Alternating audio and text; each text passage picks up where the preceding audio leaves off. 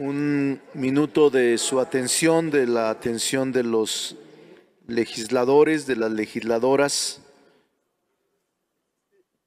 Quisiéramos, el grupo parlamentario, expresar nuestra pena y nuestra tristeza por el fallecimiento del gobernador de Puebla, Miguel Ángel Barbosa Huerta, que ha ocurrido hace unos minutos.